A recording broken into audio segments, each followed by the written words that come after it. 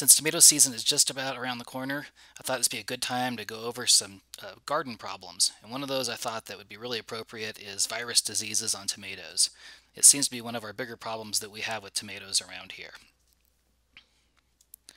So one of the benefits we have of living in the land of little rain is that most places where they struggle with fungal diseases like early blight and all sorts of disgusting things that fungus can cause, we don't really have to worry that much about it. We don't have very many fungal diseases. But I guess the trade-off is we have a whole bunch of viral diseases to worry about. And that's usually what most of our tomato problems that uh, come into the Master Gardener Helpline are related to. So there's three main viral diseases that we're going to cover in this. Of course, there's more than just three out there, but three tend to generate most of the questions to us. The first is tobacco mosaic virus. The second is tomato spotted wilt virus. And the third is the beet curly top viruses. Let's start with tobacco mosaic virus. This virus is common throughout the world. It's a pretty interesting virus. And so I think you might find, uh, you know, as far as viruses go, it's somewhat attractive. This is what the symptoms look like on tomatoes and potatoes. This disease affects things that are related to tomatoes, like tobacco and potato, tomato, you know, nightshade family things. So on the left, you can see that the tomato has some yellow color that's sort of mottled and random throughout it, but also has some puckering going on in this picture. It doesn't always have puckering, but th that's not uncommon. And if you look at the right, you can see that the mottle uh, design of the virus on the potato much more clearly. So it's sort of random yellow splotches on the potato. And that is happening on the tomato, it's just not quite so dramatic. But it's called a, a mosaic uh, disease because it does have these random irregular uh, yellow mottled color throughout the plant on the fruit. Here it is on tobacco tobacco, you can really see the mottled effect of the disease going on. So, you know, as far as diseases go, it's at least kind of attractive. Here's another shot of the disease on tomatoes. Now this is more typical when I see this disease of what we see. It's sort of a subtle effect. There might be some uh, puckering or misshaping going on as a, like the leaf in the back there. But leaf on the front is pretty typically what we see. And it will usually be throughout the whole plant and it's often on you know more than one plant. Here's what it looks like on a tomato fruit. So it, it's yellow uh, pale areas that are just um, all throughout the, the fruit there. Sometimes they have brown areas uh, associated with that. Uh, you know, it, it's not every bit of the fruit covered yellow. It's more like, you know, mosaic spots on it. Um, the yellow pale dispersed areas on leaves are kind of the, the most common symptom that you're going to encounter with that. The misshapenness, well, that's common too, but you'll notice the, the pale color probably first. It's kind of an interesting virus. It's a single-stranded RNA virus, but it's got this really tough coat protein, and it can be viable for 50 years or even longer. So if the virus particles are laying around or on something, it's possible to infect something even after decades. This virus is usually transmitted mechanically, so that means that if the virus particles are on you know, equipment or hands or clothes, and you brush up against the plant and you cause some sort of abrasion, you can transfer the virus that way. So it's really common when people work um, you know, with several plants that are susceptible and they've got the virus uh, on their hands or on their clothing, that they spread it along a field. So, you know, if, if it's one worker working along a row and that's the person who has the virus on their hands or their tools, you might see it in a row. Whereas if the person works through the entire greenhouse or a garden, they may spread it through all the tomatoes. So some strategies to deal with this, I mean, really the only thing you can do is avoid it an important thing to do is, is don't let smokers handle your plants or even the seeds. If they do need to handle it, have them wear gloves.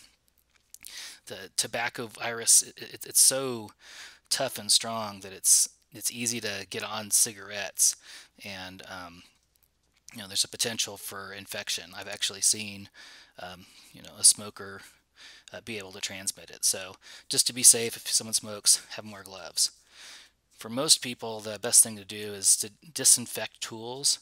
So if you have a tool that's been interacting with a plant you suspect uh, that has tobacco mosaic virus, disinfect it. Usually some kind of diluted bleach solution will do the trick.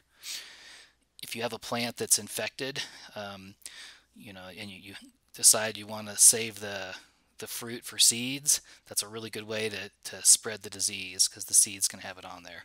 So don't save uh, any seeds or share them if your plants are infected.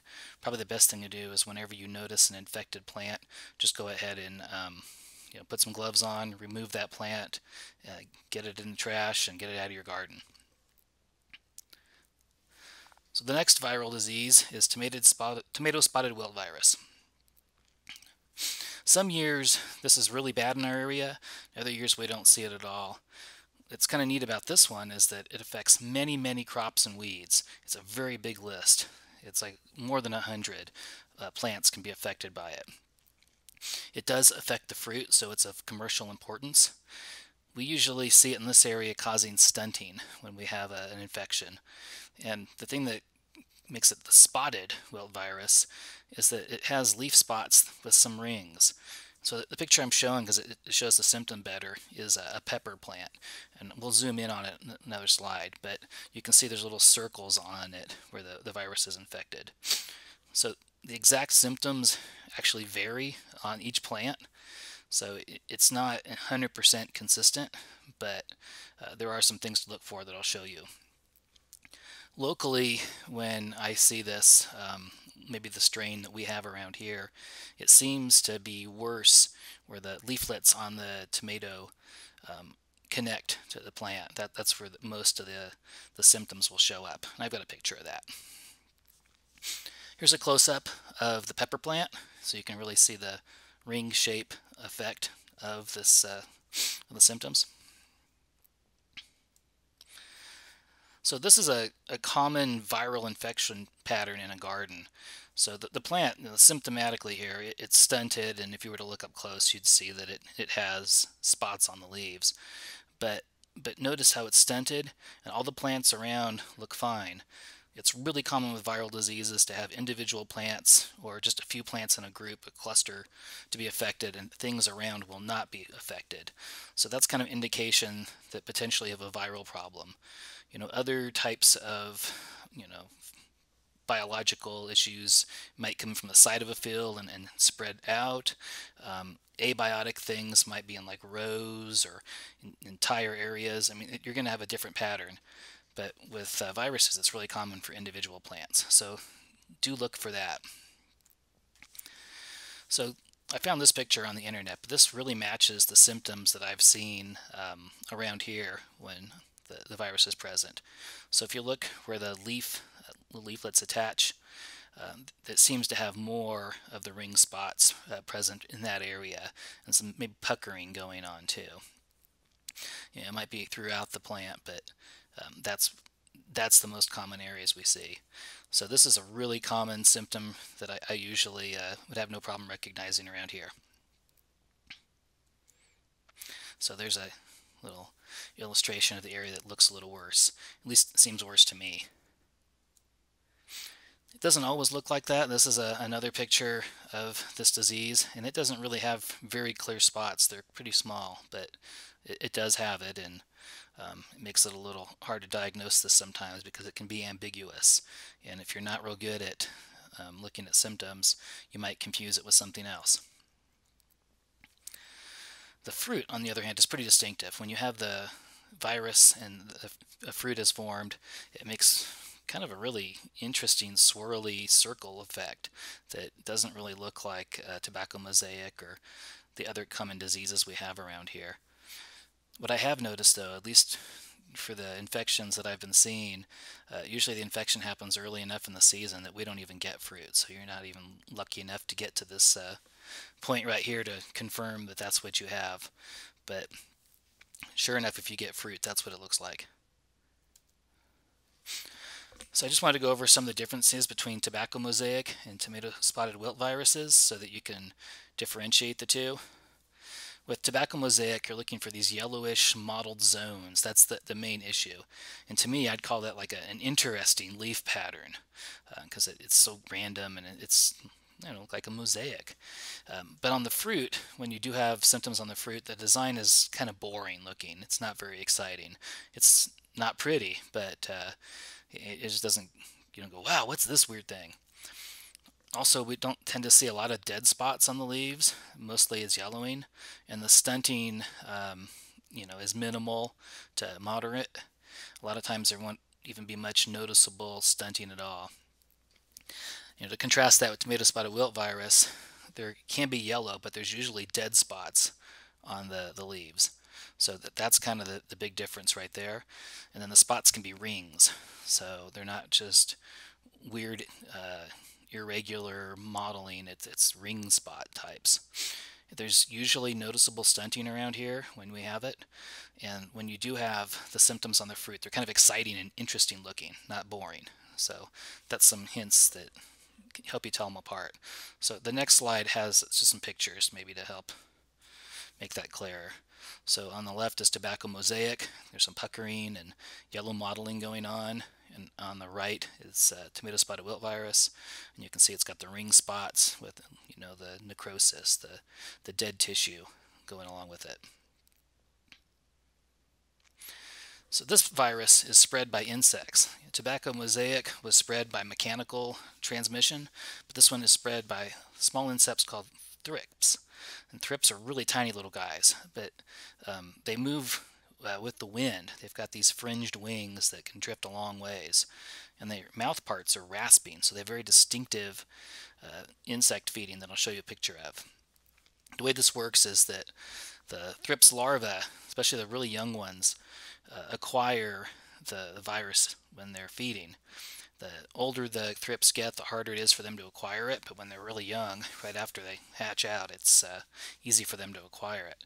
And then throughout their life, after they've acquired the disease, they can then spread that virus. And since they move through air currents, it's pretty easy for this to get spread.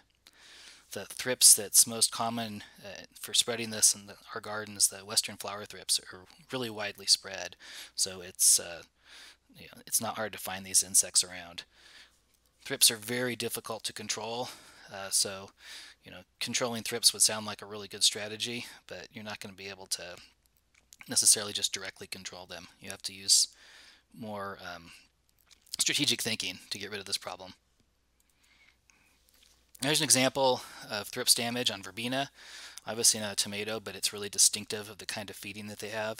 They're sort of rasping at the the leaf tissue, kind of breaking up the cells and eating up the, the, the gunk. It's kind of like the way uh, people would eat ribs. That's how the thrips eat. So some strategies to deal with thrips. I think the key thing with with this whole problem with this disease is to monitor and if possible you know control the thrips but definitely monitor them it's good to keep an eye on thrips populations in the garden if you have unusual symptoms on tomatoes and you have thrips it's not hard to infer that the problem is probably uh, tomato spotted wilt virus so knowing that you have thrips is a really good tool for diagnosing um, the problem. And you know you're going to have other feeding damage if you have high thrips populations too. So you, know, you want to monitor that, and I'll show you on another slide how we do that. Probably a more realistic strategy than trying to control thrips directly because boy they, are really tough to control. but to control weeds. You know how to do that. If you can keep weeds pulled, you're going to help to uh, alleviate potential sources of the virus because a lot of our weeds have it and you're going to have fewer places for thrips to, to hang out and move into your garden. So try to keep your weeds under control. You know, locally, if you have the option, don't plant a bunch of susceptible plants like tomatoes right next to the desert. You know, maybe have a, a fence up um, to help protect you know you from the the desert because a lot of our native plants are reservoirs for this virus. So try not to be right next to the desert, and uh, that may help some. I mean, you may even you want to plant something tall like corn or something between uh, the desert and your tomatoes just to try to act as some sort of a barrier. I don't think that'll help much, but at least the more space you can put, the better off you'll be. And unfortunately, with this disease, there are resistant varieties. So if you look in a seed catalog, you, you, know you have a problem with this virus, you know, look up some of the resistant varieties and try planting some of those. There is information at the UC IPM website on controlling thrips, but like I said, it's it's really tough at home to, well, even commercially, get good control of thrips. So good cultural practices like keeping good control of weeds really makes a difference. So this is a monitoring card. This is a yellow sticky card shown in the, the big picture. It gives you an idea of the scale of thrips, how small they are. So you can see compared to that dime, they're just little specks. So when you go look at your sticky card, you're just looking for little, very small reddish rods, and that's going to be uh, uh, western th flower thrips. I like yellow traps because they collect a variety of insects, including thrips, so you can see what's going on in terms of other insect problems in the garden. But if you're just interested in only looking at thrips, blue is much better at attracting thrips than other insects. So you can use blue sticky uh, cards too as an option. So the final virus I wanted to cover is the beet curly top viruses. These are a complex of uh, Gemini uh, viruses, and there's there's more than one, and because of that, the symptoms can vary dramatically. But we'll go over what we see around here. This virus causes the curly top disease, and this is very common in the Owens Valley. And you know, the curly top disease is that usually the uppermost leaves uh, curl up and get a funny little color to them, and the plant just never grows quite right. And this is caused by a virus. It's one of the earliest uh, recognized viruses. It's been known for like a hundred years. So the, the symptoms are upward curled leaves, and they usually get a purple or kind of grayish tint to them. When you have the virus in the plant, the fruit won't ripen right.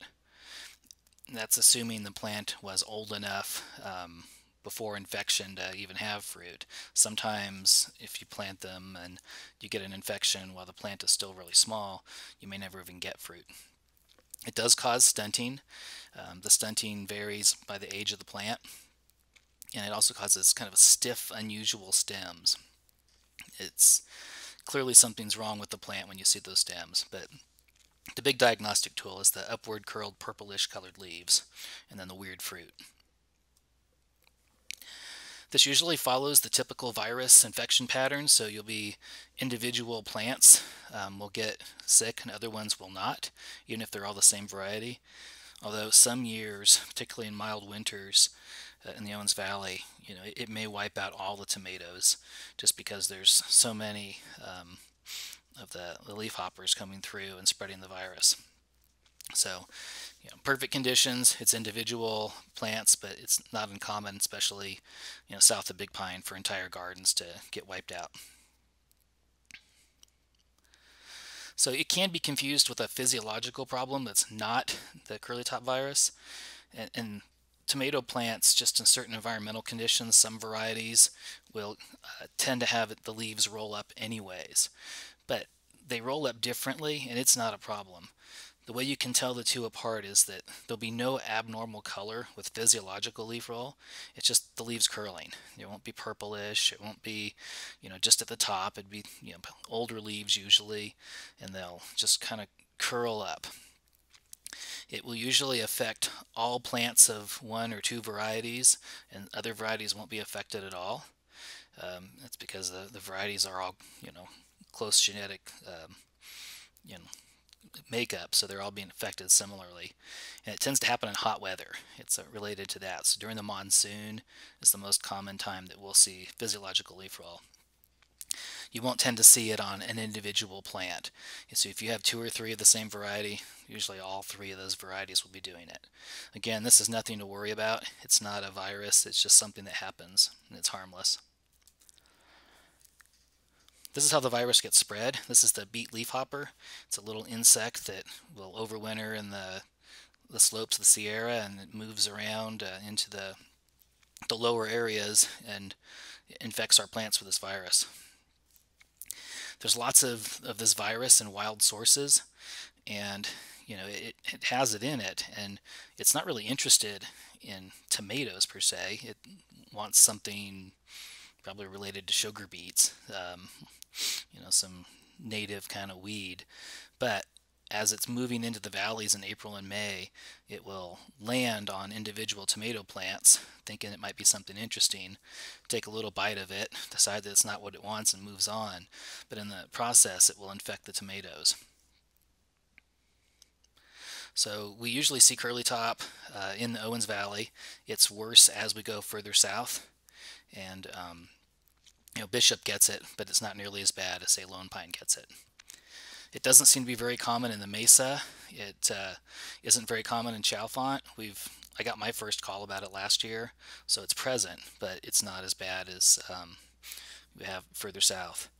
I've never had any calls about it from anyone gardening in Benton, and we don't expect to see it, you know, in the, the higher elevations. So, uh, you know, above 6,000 feet, I wouldn't expect it at all. So most people who have had bad luck with this just throw their arms in the air and have given up on growing tomatoes, or they just plant tomatoes, they see it, and they just throw them out, and, you know, and get frustrated. But there are some strategies that we can do to control this. One of the reasons why I'm recording this, you know, in early April is you need to do them soon um, so that you have some success, you know, because you, you want to implement these right when you plant. So the first strategy is confusion. Things like shade cloth and reflective mulch and maybe even spraying your plants with kaolin clay will make the plants not look like something that the beet leafhopper is interested in trying out as lunch. So it, it, it's looking for something clearly. And the thing it wants is not tomato, but it's not real smart. It's an insect. So it lands on there, takes a bite, and moves on. So if you can make it look like something different, they may not decide to land there at all. So try confusion. Shade cloth is probably going to be the most effective way to keep them from landing, but reflective mulch might help too. Another strategy that's been shown is to change the plant density. So individual plants look, especially when they're young, look like something to the leafhopper that it wants to, to test out as food. So if you can plant things closer together, or maybe have a companion plant with it so that it you know is somewhat obscured, anything that make the plant density more, you're less likely to have the leafhopper land on it. So try to plant closer together. And then the third option is to change the timing of when you plant. Either plant earlier, so you have a larger plant at the time that the leaf hoppers are moving through, and hopefully the canopy has grown together so it doesn't look like an individual plant. Or you can plant later and hope that they've already moved through. Um, in that case, you would plant heat tolerant tomato varieties so that you know they can tolerate and, and still set fruit in the summer heat. So a timing issue might help too. So those are the, the three strategies for dealing with beet leafhopper.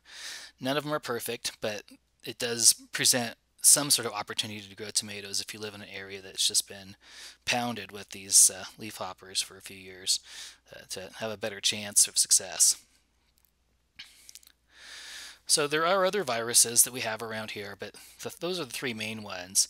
If you think you have a virus problem and indications that you might might be an individual plant here and there uh, that you see and you don't has unusual symptoms, uh, or if you have a lot of thrips and you still see some weird stunting, you want to know you know, is this a virus? You know, we might be able to help you. So if you have questions about tomatoes, virus problems or otherwise, contact our helpline. You can reach it at immg at ucanr.edu, or you can call the helpline, this phone number, or you can even leave us a message on Facebook at, at Inyomono Master Gardeners. Thanks for listening. I hope you found this helpful. I'm hoping to do little informational sessions maybe every week, especially while we're all out of the office. And we hope you have good luck in the garden. Thanks a lot, everybody. Bye.